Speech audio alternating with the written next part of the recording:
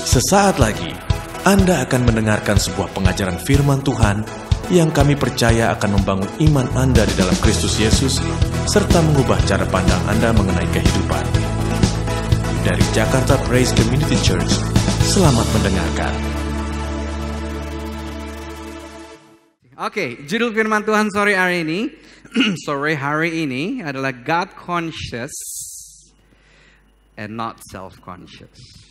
Semua bilang God conscious, not self conscious. Nah, saudara, di era modern seperti sekarang ini dengan maraknya media sosial, gadget-gadget yang depannya I. Did you ever wonder why kenapa gadget-gadget itu depannya I?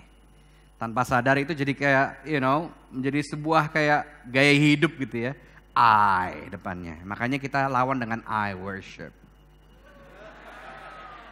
mudah-mudahan ya orang menjadi lebih sadar akan dirinya melebihi kesadarannya akan orang lain apalagi akan Tuhan benar nggak nah orang yang sadar diri adalah orang yang terlalu sadar akan dirinya Menurut saya orang yang sadar diri itu kemungkinannya dua. Kalau dia nggak sombong, dia minder.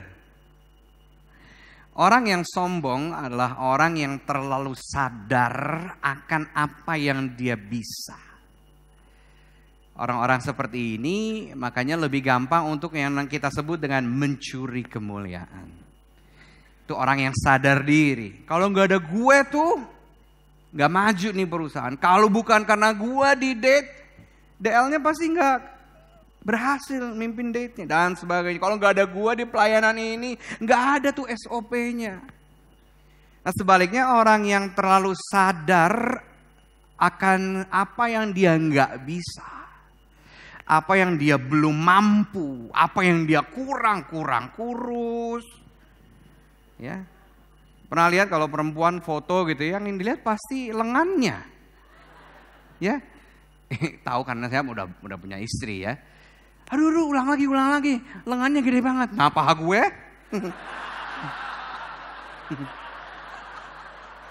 Maksudnya ngomong di depan ai, gede-gedean daging gitu ya. Enggak pada tempatnya. Ingin tahu foto itu bagus atau enggak? Ya, lihat dirinya sendiri bagus enggak lengannya. Oh, ini bagus nih, bagus nih gitu. Ya kan? Orang yang akhirnya terlalu sadar akan apa yang dia kurang, itu akhirnya jadi minder. Is this making sense to you?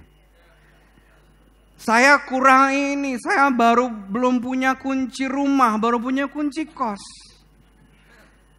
Oleh karena itu saya berhak cuman untuk ngelirik orang yang juga punya kunci kos. Siapa bilang? Ya.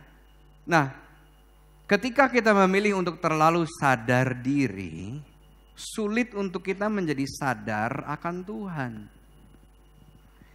Again, waktu kita memilih untuk lebih aware atau lebih conscious, sorry, self aware is good, tapi self conscious, self conscious, saya udah pernah ngomong di sini kali ya. Kira-kira kalau lagi ibaratnya konteks gereja itu self conscious tuh kayak gini, orang yang lagi mulai memuji Tuhan dengan segenap hati, lalu tanpa disuruh-suruh dia mulai naikin tangan, terus ada orang lain ngeliat atau gebetan yang ngeliat, kok kayaknya dia nggak pernah ngangkat tangan nih kalau di gereja kok kayak pribadi yang berbeda gitu. Dia mulai ngangkat tangan, dia mulai, dia mulai turunin. Udah mulai lebih sadar akan apa yang orang lain ngomong. Gak ada yang salah dengan itu, yang salah adalah waktu mereka terlalu sadar, akhirnya omongan orang itu menentukan siapa dia. Padahal identitas saudara tidak pernah ditentukan dari apa pendapat orang terhadap saudara. Identitas diri kita hanya ditentukan dari apa yang Tuhan ngomong tentang saudara. Waktu seseorang memilih untuk sadar diri, dia susah untuk sadar akan Tuhan. Dia susah untuk mengingat apa sih yang Tuhan bilang tentang dia. Nah, masalahnya saudara, kalau kita ngomong sadar diri bertambah, kalau ada yang bertambah, pasti ada yang berkurang. Pilihannya cuma dua, more of me and less of God. Next slide. Atau more of God and less of me. Pilihannya cuma dua. lebih banyak dari saya dan lebih sedikit dari Tuhan, saya yang bertambah dan Tuhan yang berkurang, atau Tuhan yang bertambah dan kitanya yang berkurang. Ibaratnya gelas seperti ini, saudara. Next slide. Nah, seperti inilah kira-kira. If you are full of yourself, saudara hanya menyisakan space sedikit untuk Tuhan bekerja. Dosa nggak? Nggak ada hubungannya sama dosa. Hubungannya dengan kualitas hidup saudara. Ya. Saudara mau menyisakan ke, ke, ke, apa namanya, mau memberikan kesempatan lebih banyak buat Tuhan atau diri saudara, God loves you still. God doesn't love you less. Tuhan nggak lebih kurang mengasihi saudara because we are full of ourselves. Tapi kalau saya jadi saudara, saya pilih yang kedua, gelas yang di sebelah kanan. Yaitu pada waktu kita memilih untuk less of me, jadi kita membiarkan, menyediakan ruang untuk Tuhan lebih banyak ada dalam hidup kita. Dan waktu ini terjadi, saya bisa pastikan bahwa kualitas hidup saudara berubah. But this is a journey. Ini sebuah perjalanan, gak tiba-tiba karena ke gereja tiba, ya Tuhan, I want more of you. Kalau boleh all of you and none of me. It's a journey. Yohanes 3 ayat 30. Dari terjemahan Amplified Bible bilang gini, He must increase, but I must decrease. He must grow more prominent, I must grow less prominent. Dia harus bertambah, saya harus berkurang. berkurang. Dia harus semakin menonjol, saya harus semakin kurang menonjol. Again, di area era-era media sosial ini lebih lebih alami, lebih intuitif, lebih kultural kalau kita yang menonjol. Ya. Terjemahan bahasa Inggris yang lainnya bilang gini, Jesus must become more important while I become less important. Yesus harus menjadi lebih penting, sementara saya menjadi kurang penting. Kalau saya bilang kurang penting itu bukan ber, karena ident, tentang identitas diri. Artinya gini, agenda Tuhan harus menjadi lebih penting, ambisi saya harus semakin kurang menonjol. Nah, waktu hal ini bisa terjadi, saudara akan mulai melihat bahwa perkara-perkara yang selama ini saudara kepikir nggak bisa terjadi, when you spare more space for God, di momen itu saudara bilang gini, kenapa nggak dari dulu ya? Waktu saudara kita meluangkan Tuhan lebih banyak bekerja, ternyata kita lebih kita bisa mencapai lebih banyak hal dibandingkan dari impian saudara yang paling gila. Waktu seseorang bilang Yesus harus menjadi lebih penting, saya menjadi orang penting, dia nggak lagi berpikir Tuhan dia doanya gak gini, Tuhan mau saya ini, ini, ini, dan ini. Silahkan. Ya. It's as if Tuhan tuh kayak Sinterklas gitu. God, apa namanya, Bruce Almighty ya filmnya. Ya. Yes to all. Ya. Saya saya bersyukur Tuhan gak seperti itu. Nah, orang yang uh, ingin uh, menjadikan Tuhan menjadi lebih penting, dia mulai berpikir kalau saya ingin pingin ini, apakah agenda Tuhan, kehendak Tuhan lebih cepat terjadi atau enggak? Saudara nggak ada yang salah, saudara pengen punya mobil Mercy, BMW, nggak ada yang salah. Tapi pertanyaan, pertanyaan gini, why? Kenapa nggak bajai aja? Misalnya. Ada, atau kenapa nggak mobil-mobil yang lain aja yang nggak semewah itu? Dulu berbicara tentang sadar diri ya, berbicara tentang terlalu sadar dulu waktu pertama-tama beberapa tahun lalu saya dipercayakan untuk uh, pertama-tama untuk berkhotbah. Halo Oma, ada Oma di sini. Hai, Oma usia berapa? 80. 90. Mirip berat saya. Tepuk tangan buat Oma. Iya, ini Usia tua, hatinya yang adults. yes. I want to grow old like you, Oma. Yes. Siapa yang mau usianya lebih dari 90? Oke, okay, nggak semua. Nggak apa-apa, Oma. Ada beberapa doang. anyway, saya kaget loh lihat satu-satunya yang rambut putih saya pikir dicat. So, waktu pertama-tama saya diberikan kesempatan berkhotbah, saya menjadi terlalu sadar diri. Akhirnya gini, saudara, ini yang terjadi di rumah. Anak mau nanya saya, Dedi, Dedi, istri saya mau ajak ntar dulu. Dedi ini belum selesai nyiapin khotbah. You know, saya takut, saudara. Takutnya kenapa? Takut dibandingin Jeffrey Rachmat. Jose Jose Carroll. Ini raja apa nih? Raja apa nih? Raja guguk siapa nih orang? Ini lemper satu siapa gitu. Saya menjadi terlalu sadar diri, nggak ada tekanan itu. Saya yang buat tekanan itu sendiri. I became so full of myself. Tanpa saya sadar, pendeta lagi. Dosanya double banget tuh. I became so conscious about nanti orang ngomong apa ya? Nanti kalau slip of tongue di tengah-tengah khotbah dijadwal lagi enggak ya?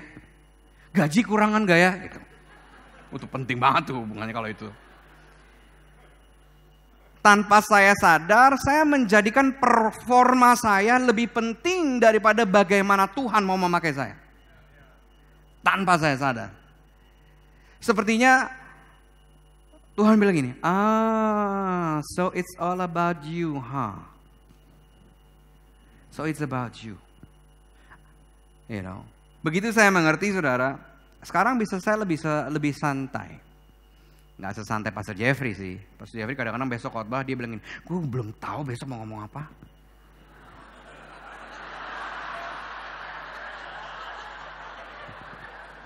Jangan bilang-bilang ya. Tolong dikeluarkan dari rekaman khotbah. Saya belum bisa sih kayak dia gitu, belum bisa. Wih, ini pasti pewahyuan tingkat tinggi gitu ya. Kalau di WC langsung, uh, langsung dapat urapannya gitu.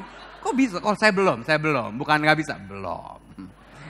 Liganya masih di bawah lah, masih di kelas bulu gitu ya. Gitu. Nah sekarang saya udah lebih, you know, begi, udah lebih santai lah. Udah bisa lebih, you know, kalau diganggu sama anak, kalau anak lagi pengen ajak main, waktu lagi nyiapin khotbah, istri lagi pengen ngobrol, bla bla. Apalagi kan istri perempuan, anak dua perempuan, bawahnya pengen ngomong semua nih. Hmm. Kadang-kadang istri saya bilang, kak, kak, kakak Raya, boleh nggak mami gantian ngomong sama Dedi? Pusing juga ya di, di, di, di, itulah, di apa namanya? Hah? Di itu loh, di apa sih? Dikelilingi ya, gitu aja susah banget sih. Aduh. Susah lah kadang-kadang dikelilingin tiga per itu di rumah kadang-kadang. Iya, Dedi juga butuh keteduhan kadang-kadang gitu ya. Ini efek bangun jam 4 udah WL 12 gitu. Jangan sedih. Terima kasih. iya. Nah, jadi saya tahu bahwa sekarang saya tahu bahwa pelayanan saya dan apa kata orang tidak perlu mendefinisikan siapa saya. Saya berharga di mata Tuhan apa adanya. Saya nggak berkompetisi dengan Jeffrey Rajmat atau Jose Carol. Saya sedang berkompetisi dengan diri saya sendiri. Saya tahu kalau saya ini cuman bejana, saya ini cuman alat, terserah Tuhan bagaimana secara teknis dia mau pakai saya. Nggak usah pusing gitu. Nah, setiap kali saya panik, saya kembali ingatkan diri saya. It's never about the messenger. It's always about the message. Selalu tentang bukan siapa yang bawa firman, tapi selalu tentang pesan Tuhan. Halo. Bersyukurlah saudara di gereja di JPCC yang kita nggak pernah ngiklanin siapa yang khotbah. Karena kita percaya gereja itu bukan bioskop. Siapa saja yang ada di depan sini untuk berkhotbah, cupu, nggak cupu, kurus atau gemuk. Dia adalah hamba Tuhan yang sedang berbicara isi hati Tuhan buat saudara. Ya, makanya di sini saudara cuma baru tahu di lift. Tadi yang nyapa saya, ayo ngomongnya apa, ngomongnya apa. Ayo, saya ini yang khotbah. Saya aja yang ngomong ya. Selamat sore, selamat datang di JPCC yang berkhotbah saya.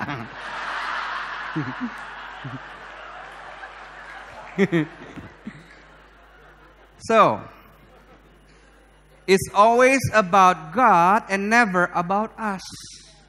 Begitu pula dalam hubungan saudara. It's always nanti akan saya lebih jelaskan lebih detail lagi. It's always about agendanya surga, bukan tentang agenda saya dalam hubungan ini. Kenapa gampang kita gampang panik? Karena kita pikir itu tentang kita. Kalau ditolak gimana? Coba lagi. It's not the end of the world. Pernah ditolak soalnya.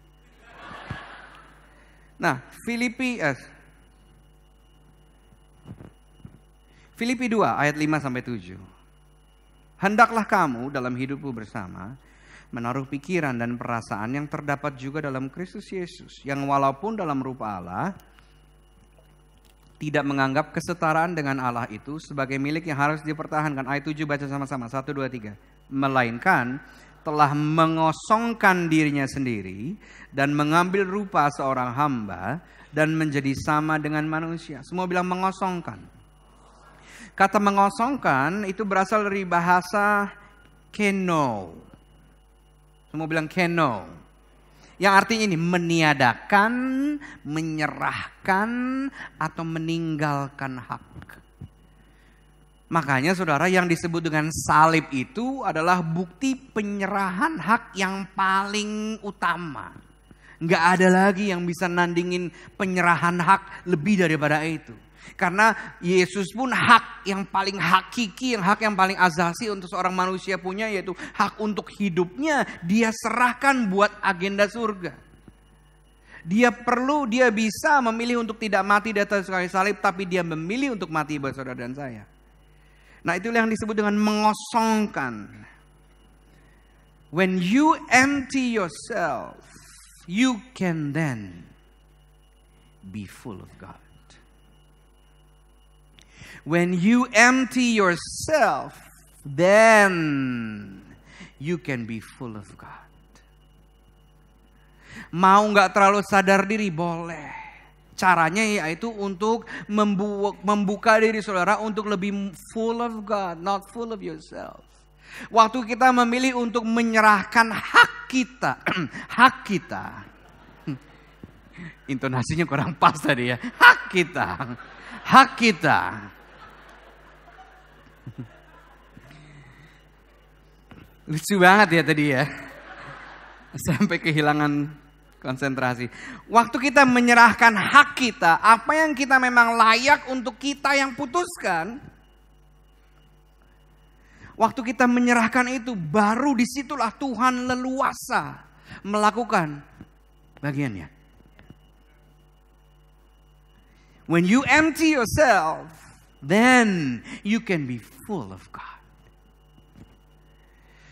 Waktu sadar akan Tuhan itu semakin besar, mau nggak mau sadar diri itu jadi berkurang. Waktu saudara melihat kebesaran Tuhan dan bukan kebesaran masalah saudara, masalahnya masih ada. Tapi tiba-tiba saudara jadi punya harapan. Halo? Waktu saya bilang, gue mau turun nih.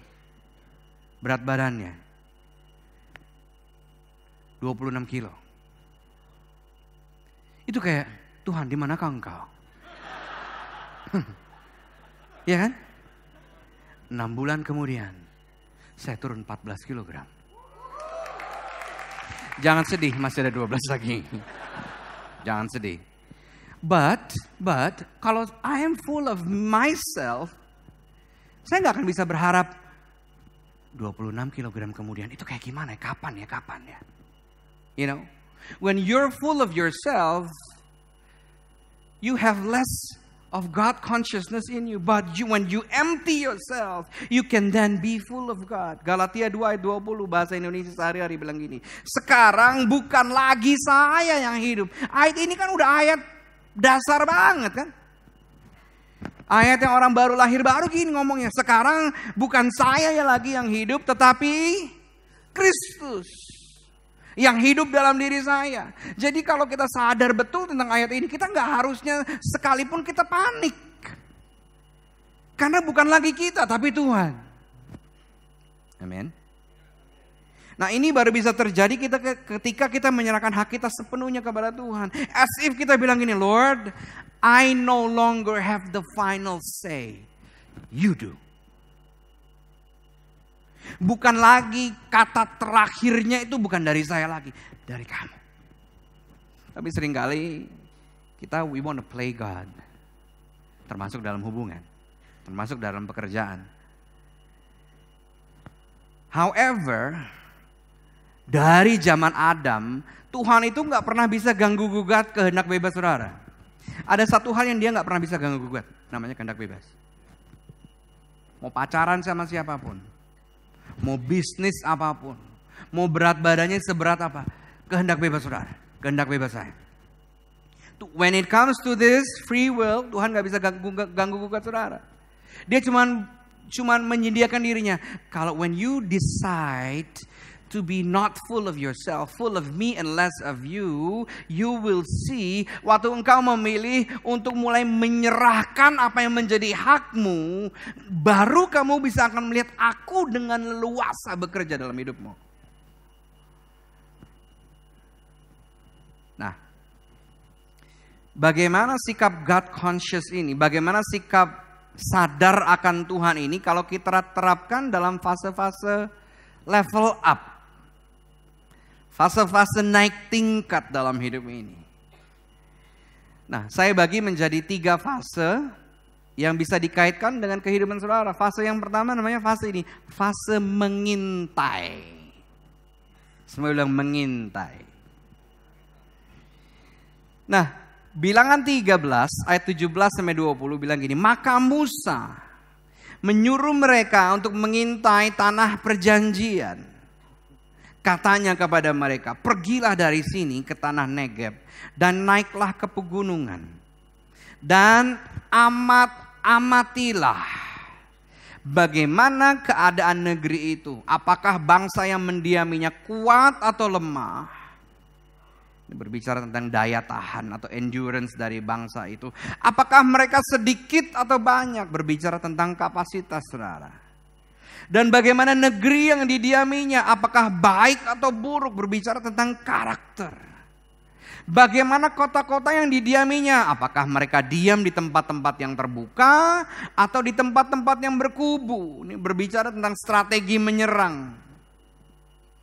Dan bagaimana tanah itu? Lihat ini lucu banget nih. Bagaimana tanah itu gemuk atau kurus? Tanah bisa gemuk, bisa kurus ya, ternyata. Terjemahan bahasa Indonesia lainnya bilang tanah itu subur atau tandus maksudnya itu. Berbicara tentang strategi pemeliharaan. Nanti kalau kita sudah menduduki tanah perjanjian, tanahnya itu tandus atau subur pohon di sana ada ada pohon-pohonan atau tidak? Berbicara tentang ada sumber air enggak? Kalau saudara ke, pergi ke padang pasir, mau tahu ada oase di mana, lihat aja ada pohon enggak? Waktu saudara lihat di situ ada pohon, pasti di dekat situ ada mata air. Nah saudara, saudara mungkin sudah pernah baca cerita ini. Yaitu pada waktu Musa mengirimkan kedua belas pengintai. Sebelum mereka keluar dari tanah Mesir menuju ke tanah perjanjian, mereka mau lihat dulu, mereka mau mengintai, mereka mau mengamat-amati, mereka mau mempelajari dulu. Ini tanah nanti yang kalau kita sudah pindah ke sana, jadi mulai kebayang gaya hidupnya kayak gimana nanti di sana waktu kita sudah ke sana. Karena lebih gampang untuk membawa keluar bangsa Israel keluar dari tanah Mesir daripada mengeluarkan mentalitas Mesir dari bangsa Israel. Lebih gampang untuk Tuhan menemukan saudara dengan jodoh saudara daripada mengeluarkan mentalitas jomblo waktu pacaran.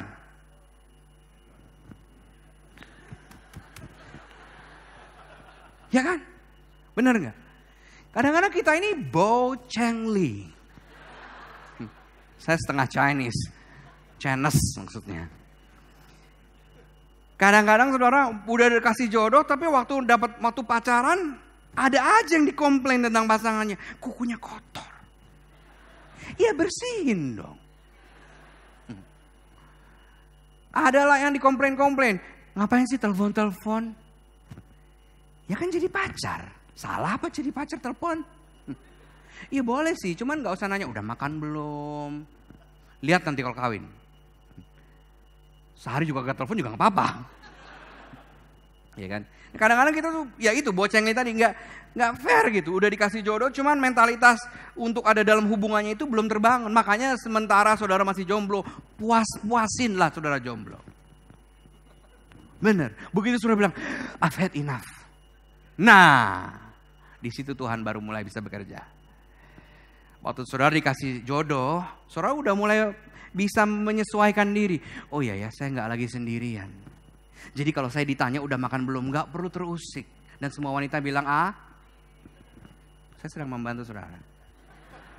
Semua pria bilang, ah, au ah.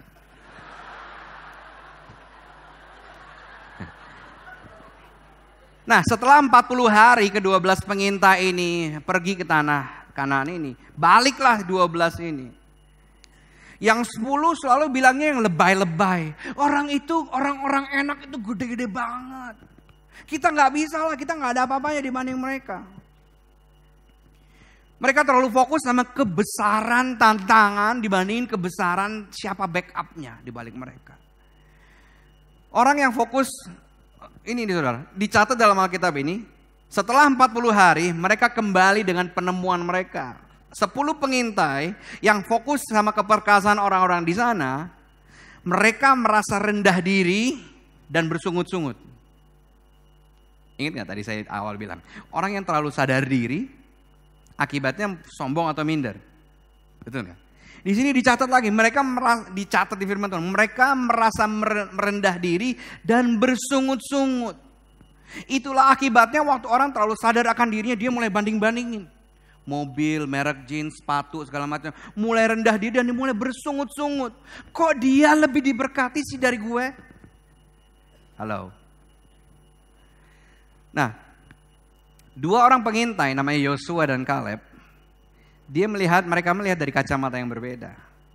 Mereka nggak fokus kepada keperkasaan orang-orang di sana, tapi mereka fokus kepada penyertaan Tuhan dan janji Tuhan.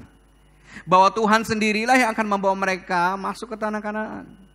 Yosua dengan kata lain Yosua dan Kaleb memilih untuk lebih sadar akan Tuhan melebihi daripada mereka sadar akan keterbatasan bangsanya. Nah, Saudara, lalu hubungannya apa dengan saya, Pak? Saya senang saudara bertanya. Nah, sebelum saudara naik tingkat, sebelum saudara level up, kadang-kadang saudara perlu mengintai dulu nih. Perlu mengintai dulu, what does it take for me to become a person? Karena gini, lebih gampang buat Tuhan bikin saya kurus daripada saya terus-terusan kurus seumur hidup saya. Masuk akal gak? Percaya nggak kalau saya kurus? Percaya nggak kalau saya bisa kurus? Yang setuju bilang amin. Yang nggak setuju ya nggak apa-apa. Nah, karena itu kan perubahan gaya hidup, saudara. Nah, di sini ada coach saya di sini, coach Carlo. Wave your hand. Wave your hand. Ya, yang nyanyi tadi paling ujung. Makanya dia nggak bisa terlalu loncat-loncat, ototnya gede banget. Love you. Nah, sebelum saudara naik ke tingkat berikutnya, saudara kadang-kadang perlu menyelidiki dulu mengamati, mempelajari kira-kira di tingkat berikutnya itu seperti apa sih? Kalau dalam konteks saudara di, di Young Adult Service, kira-kira untuk saya bisa mulai mulai ngerencanain hari pernikahan yang dibutuhkan apa saja. Yang pasti dibutuhkan tabungan kan? Yang pasti dibutuhkan duit. Karena iman, saudara nggak bisa bayar restoran dengan iman. Iya lu Kristen so, digituin nanti sama manajernya. ya kan? Saudara mesti bayar dengan iman. Saudara mesti mulai mengintai dulu. Oke, kalau saya mau you know mau uh, pesta seperti ini duitnya berapa? Apa segala macam. Nah, setelah saudara mengintai, jangan fokus sama hasil pengintaian saudara. Semua bilang jangan. Semua bilang, mm -mm. ya. Karena waktu saudara fokus sama itu, tiba-tiba saudara itu menurunkan iman saudara kepada tingkat kenyataan. Saya kasih satu tips, jangan turunkan iman saudara ke tingkat kenyataan, tapi izinkan kenyataan saudara yang ngikutin iman saudara. Halo. Efesus 3 ayat 20, ini ayatnya. Bagi dialah yang dapat melakukan jauh lebih banyak daripada yang kita Doakan, semua bilang doakan. Atau pikirkan, seperti yang ternyata dari kuasa yang bekerja di dalam kita. Kalau saudara bisa, gini, untuk saudara bisa mulai mengintai, mulai mendoakan cewek yang cakep banget sama cewek yang cakep, itu sama gratisnya. Making sense to you? Tapi kalau kita lebih sadarkan diri kita, gua kan gendut ya. Masa dia mau sama gue? Nih lihat, om ini buktinya.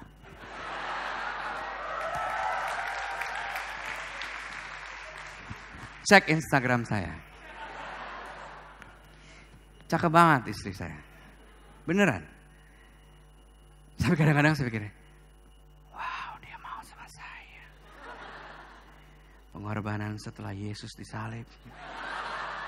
Pengorbanan kebesar terdua, terbesar kedua setelah pengorbanan Yesus di Golgota ya Mia mau kawin sama saya. Kadang-kadang kita ini udah kalah sebelum berperang. Am I talking to any singles in the house? Mau nggak ya dia? Saya ini kan, saya ini kan, masa lalu saya begini, ini saya, itu. When you're so conscious about yourself, the story will never end. Izinkan Tuhan yang have the final say, not you. Halo. Dia bilang gini, bagi dialah yang dapat melakukan jauh lebih banyak daripada yang kamu doakan. Jadi kalau saudara dalam skala, skala 1 sampai 10, mintanya cowok yang seganteng itu tujuh setengah deh Tuhan. Minimal Tuhan kasih saudara yang 8. Dan semua wanita bilang A. Apa iya Tuhan, apa iya Tuhan, apa iya Tuhan. Semua mulai dengan A. Iya kan? Jangan bawa kenyataan saudara, jangan bawa iman saudara, jangan biarkan iman saudara didikte sama kenyataan. Tapi izinkan kenyataan saudara ngikutin iman saudara. Karena mengimani ini dan itu semua sama gratisnya. Again. Buat saudara yang mau menikah, ya saya tahu kita perlu ngelihat kita perlu ngelihat kocek, kita perlu ngelihat kantong, kita perlu lihat pak. Iya, iya saya tahu. Waktu saya menikah saudara, saya nggak izinkan, gini, saya masalah gini, saya menikah dengan uang hanya 100 juta. Hanya, iya. Kenapa saya bilang hanya? Tiga kota. Hah. Hanya 100 juta. Saya perlu menerbangkan 48 orang anak kantor dan keluarga saya ke Surabaya. Udah setengahnya tuh kan. Kalau tiket satu juta aja. Thank God for air. Uh, pip gitu ya. Dulu masih ada satu juta kursi gratis gitu. Jadi saya menerbangkan cuma modalnya satu orang bolak-balik 97.500.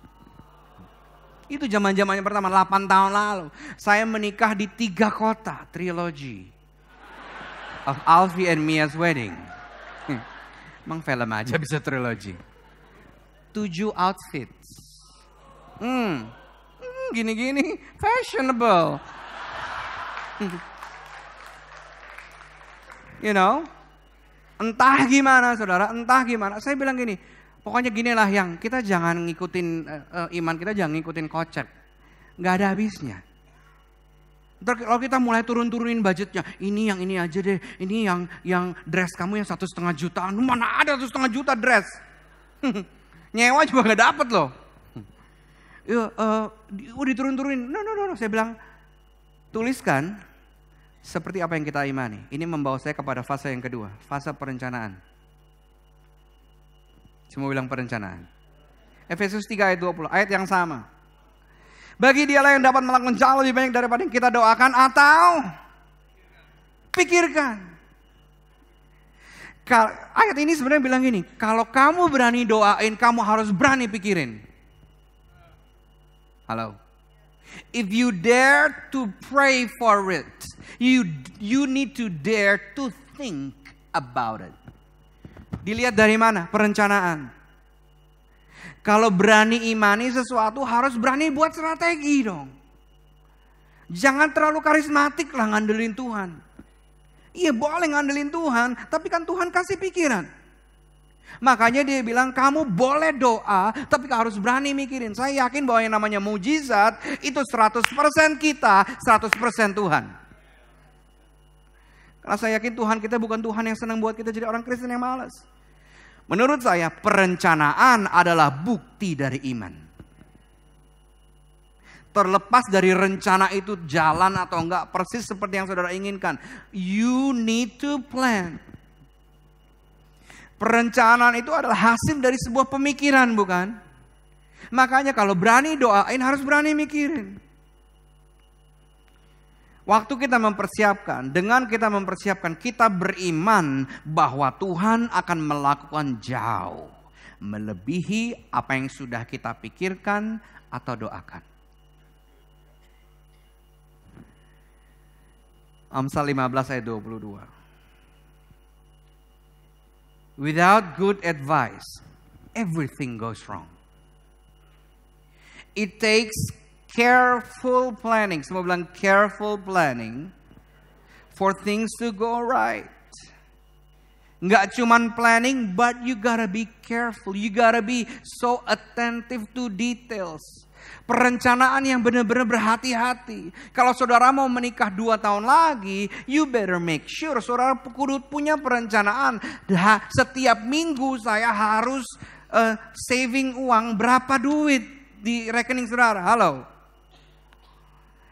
Karena, you know, ya yeah, you need to plan. Intinya itu. Sampai speechless saya ngomongnya. John Maxwell bilang, he who fails to plan apa? Plans to fail. Dia yang gagal merencanakan, sedang merencanakan untuk gagal. Amsal 15 ayat 22 dari terjemahan bahasa Indonesia hari-hari bilang ini. Rencana gagal jika tidak disertai pertimbangan. Rencana berhasil jika banyak yang memberi nasihat. Pertanyaan saya, pertimbangan siapa yang saudara dengar? Di sinilah di mana komunitas Date itu jadi penting. Di sinilah di mana saudara punya orang-orang yang begitu dekat dengan hidup saudara. Yang benar-benar orang yang bijak. Orang yang lebih unggul dari saudara. Kalau saudara ingin merencanakan punya karir yang lebih baik dari sekarang. Saudara kudu punya orang-orang yang memang karirnya sudah jauh lebih baik dari saudara.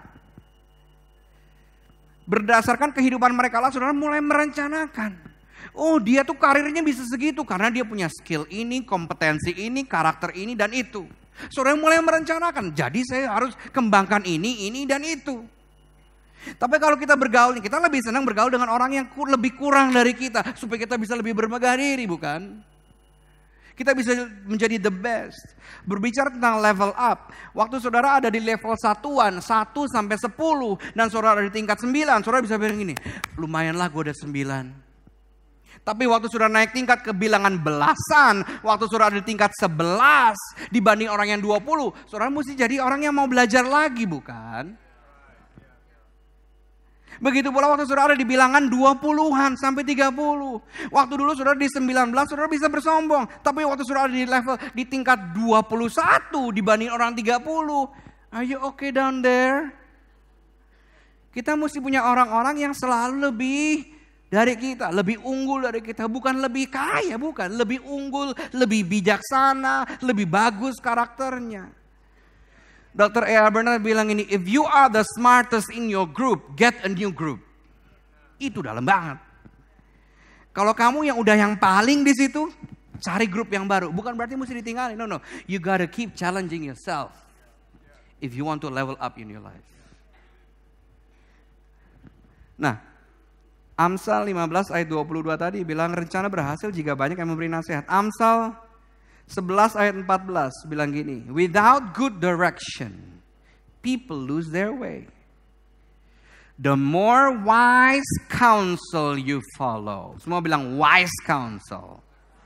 The better your chances. Tanpa arah yang baik, orang kehilangan jalan mereka. Ayat ini bilang. Semakin banyak nasihat bijaksana yang Anda ikuti, semakin baik kesempatan Anda. Nah, yang membedakan orang bijak atau bukan adalah biasanya dalam nilai hidup mereka, prinsip hidup mereka. Orang yang bijak pasti prinsip hidupnya itu berpana, perpadanan atau paralel dengan prinsip firman Tuhan. Di sinilah makanya penting untuk saudara sendiri juga perlu mengerti atau rin, uh, perlu merenungkan firman Tuhan siang dan malam. Amin. Nah kembali ke cerita saya. Jadi waktu itu ceritanya gimana Pak? Oh ya. Nggak cuma dari situ saudara. Semua yang saya pengen saya tulis gown designer si ini. Saya tahu mahal. Saya tulis saja. Gratis kan nulis kan? Masih masih fase perencanaan, masih gratis. Ya. Mulai apa lagi? Wedding di mana? Ya, of course, gereja di JPC kok weddingnya nggak di upper room gitu kan? Di sini nih, di tempat ini. Masih awal-awalnya waktu itu ya, lumayan mahal, di luar kocek saya juga. Cuma saya pikir, ya udahlah, saya tulis saja mau siapa? Entertainmentnya siapa? MC-nya siapa? Ininya siapa? Pasti di apa tuh dijumlahin itu lima kali lipat saudara. Ya. Tapi tahu tahukah saudara? Fotografinya siapa? Itu yang top-top semua, dekorator top-top semua. Makan juga yang oke-oke punya. Saya kan punya pilihan, saya robek. Saya robek, mimpi aja loh, kan gitu. Atau saya bilang, Tuhan, saya mau kenyataan saya mengikuti iman saya. At the end of the day, this is your wedding. Saya hanya objek penyerta. I know, saya yang menikah. Tapi maksudnya gini, Tuhan kamu yang memulai pernikahan saya dengan Mia. Kamu memberikan Mia di saat saya udah pernah bilang gini, Tuhan kalau Tuhan mau saya jomblo sama Rio nggak apa-apa lah. Tiba-tiba bisa ketemu kan? Itu kalau bukan Tuhan siapa? Tuhan. Iya kan? Kalau Tuhan udah mempertemukan saya, Tuhan juga yang akan, Tuhan yang sudah memulai pekerjaan baik, Tuhan juga akan menyelesaikannya. Tahu gak saudara? Lunas. Enggak ada satupun yang meleset, lunas. Ya. Jangan kayak nggak rela gitu dong tepuk tangannya gitu. Ya. Nggak cuma lunas, cuan. Hmm, I tell you, dari modal itu saudara, saya bisa pergi ke Europe. 22 hari. Hmm. Ini bukan untuk menyombongkan saya, untuk kasih tahu saudara bahwa pengalaman saudara tidak perlu ditentukan oleh kenyataan saudara. Izinkan pengalaman saudara mengikuti iman saudara. Iman timbul dari pendengaran dan pendengaran akan firman Tuhan. Dan saudara juga kudu punya orang-orang yang menjadi wise counsel di sekeliling saudara. Jangan orang yang, ah lu mimpi aja lah lu, duit berapa sih? No, no, no, no. Orang yang mendukung iman saudara. Halo. Orang yang bahkan lebih percaya sama saudara, lebih daripada saudara percaya sama saudara. Nah, fase yang terakhir. Tadi fase yang pertama namanya apa? mengintai. Mulailah mengintai. Kalau saudara sudah terlalu lama single, mulailah mengintai. Kalau saudara you gave up on your dreams of getting married with someone, mulailah mengintai. Halo. Kalau saudara udah mau mulai udah udah in a relationship dan saudara mau take it further, mulailah mengintai. Cincin kalau 0,35 karat berapa duit sih? Ya kan? Mulailah mengintai. Kalau wedding di sini, you know, terlep Maksudnya gini, kalau saudara belum nembak dia untuk, you know, propose dia jadi istri saudara. Kalau saudara mau ke pameran boleh, sendirian aja. Ya kan? Saudara belum propose sama dia, terus ngajak-ngajak ke pameran, itu kan PHP namanya. Udah gitu putus pula, halo. Iya kan? Bijak-bijak lah, sendiri aja. Kalau belum terlalu yakin, sendiri aja dulu ke pameran. After you propose, then go to wedding exhibition, berdua. Amin. Kalau perlu ajak mertua-mertuanya. Bisa chip in berapa? Bisa sumbang berapa om? Mahal nih foto hari gini. Siapa tahu dia tergerak. Siapa tahu. Ya kan? Nggak pernah minta Tuhan firman Tuhan begini. You get, you receive not because you ask not. Nggak terima karena nggak pernah minta. Eh, uh, disclaimer, saya nggak minta. Saya cuma minta sama Bapak di surga. Iya. Fase, melak, fase yang kedua namanya apa tadi? Perencanaan. Mengintai doang nggak direncanakan sulit saudara. Untuk saudara mulai ngebayangkan. Fase yang terakhir namanya fase melangkah. Semua bilang melangkah. Fase inilah fase yang paling susah. Kenapa saudara? Karena terlalu banyak pertimbangan. Takut gagal, belum berani. Remember, tadi prinsipnya when you empty yourself, then you can be full of God. Jadi kadang-kadang mesti emptying ourselves again and again. Ya. Seorang komandan militer Amerika namanya George Patton bilang gini, a good plan implemented today, semua bilang today, is better than a perfect plan implemented tomorrow. Sebuah rencana yang bagus, yang dilakukan sekarang itu lebih baik daripada rencana sempurna yang dilakukan besok. Apalagi kalau orang saudara orang C, orang cermat, conscientious, orangnya detail banget. Kalau Tuhan belum ngomong, gue belum melangkah. Pacaran udah 8 tahun. Calon mama mertua udah nanya. Siap kali sudah datang ke rumah. Auranya udah aura peperangan gitu. Saudara lihat dia nyetel lagu. Ku dengar suara perang gitu. Saudara nggak tahu lagunya. Udah lagu lama banget. Lagu lama. Mungkin saudara belum lahir. Nah, saudara kalau saudara udah punya rencana, jalanin aja. Ya tapi kayak nggak kelihatan gitu pak. Rencana saya cuma kelihatan 2 meter ke depan. Saya kasih ayatnya. Mazmur 37 ayat 23. Tuhan menetapkan baca. Langkah, langkah orang. Yang Tuhan tetapkan bukan rencana orang. Langkah. Halo. Saudara yang merencanakan, Tuhan yang menetapkan langkah saudara. Orang yang hidupnya berkenan kepada dia. Tuhan kurang tertarik dengan wacana. Itu istilah dari dulu kayaknya wacana. Iya ini sih masih wacana. 10 tahun kemudian. Masih wacana. Perencanaan tanpa melangkah menurut saya itu ibaratnya punya mobil sport. Tapi cuma dipakai buat beli sayur gitu di mana gitu. Sayang banget. Nah berbicara tentang mobil. Mobil itu jauh lebih mudah diarahkan waktu dia jalan atau waktu dia berhenti.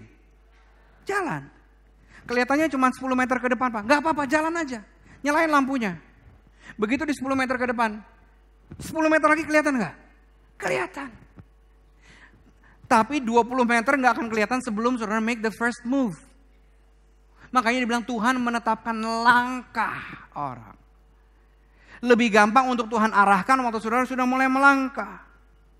Tapi gimana caranya? Saya ngerti, saya ngerti. Saya dulu cupu banget pacaran pertama umur 28. Setelah di umur 28 ada yang pacaran 14 kali udah. Mau nembak cewek itu susahnya minta ampun saudara. Sampai saya lihat-lihat menu. Ceweknya bilang ngapalin menu? Ya dalam hati nggak tahu apa di gua kesulitan untuk ngomong. Akhirnya saya beli Hallmark card. Yang bagus-bagus, thanks to Hallmark. Saya tulis bawahnya, PS, will you be mine? Ini bukan Mia, ini yang pertama. ya ini, ini masa lalu. Saya kasih dia kan, saya kasih dia. Terus dia cuma, kan nggak yakin dong ya orang Batak suara kenceng. Uh, itu tadi maksudnya iya atau enggak ya? Aduh cuma bilang, itu maksudnya apa? Antara bersin atau kecekek gitu kan nggak jelas. gitu. Tapi ya udah saya buat rencananya yang ntar kejadiannya gimana ya udah lebih gampang diarahkan gitu loh. Jadi bagi saudara yang nggak pernah nembak-nembak mulailah nembak. Ya. Worst case scenario, cewek itu bilang, boleh saya doakan nggak? Itu kemungkinannya dua, dia benar-benar berdoa atau dia bilang enggak kali ya. Gitu.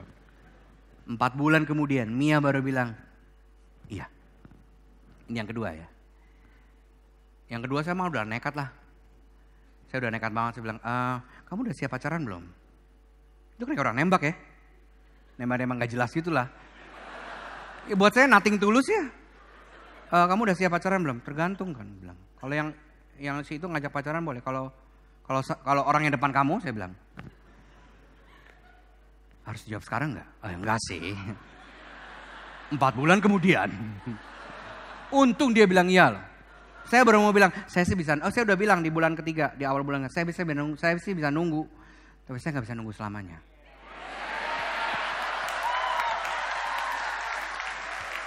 Bener. Kalimat itu baru keluar kalau melangkah. Terserah dia, dia bilang lu gear banget sih nih Batak Cina satu nih. Terserah lah. Saya ngelangkah aja. Waktu ngelangkah kreativitas itu muncul. Ya.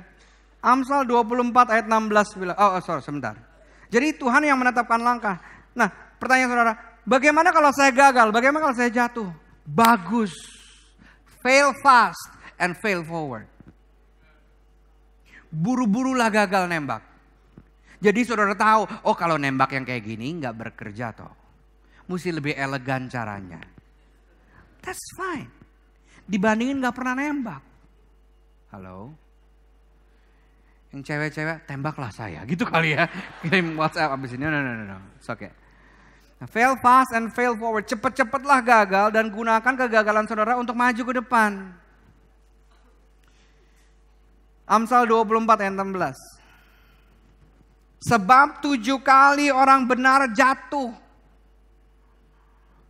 Orang benar, mau pendeta, mau orang benar, bisa jatuh nggak? Akan jatuh.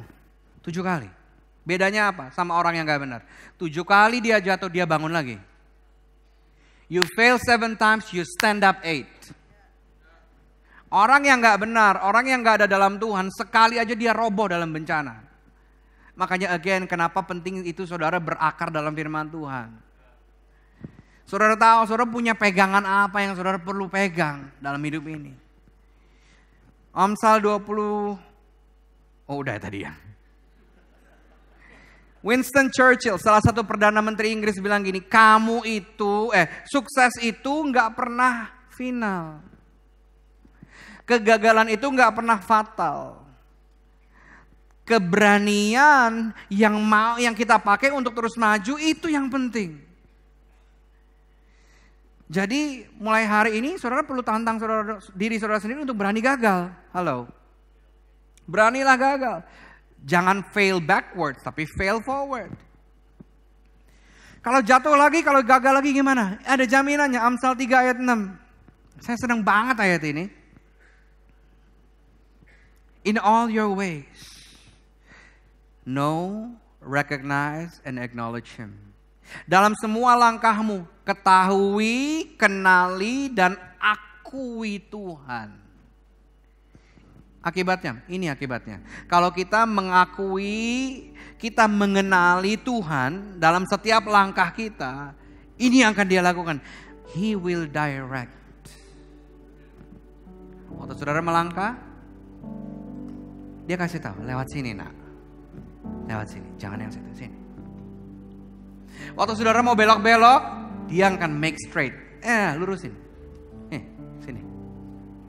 Waktu saudara udah mulai lebih banyak lihat embunnya, nggak jelasnya daripada jelasnya, dia bilang, I will make plain. Aku yang memperjelas langkahmu. Isn't he awesome? And he's your father. And as a heavenly father, sebagai Bapa di surga yang baik. Dia mau saudara tahu rencananya lebih daripada usaha saudara cari rencana Tuhan buat saudara. Halo. Tapi saudara kudu mau melangkah. Susah untuk Tuhan kasih tahu jalannya kalau kita cuma diem aja. Oleh karena itu penting banget untuk kita sejak kita muda kita jadi lebih sadar akan Tuhan dan bukan lebih sadar akan keadaan kita. Dan saya akan tutup dengan ini. When any anything under God's control is never out of control. Amin. Semua yang ada dalam kendali Tuhan nggak akan pernah di luar kendali saudara.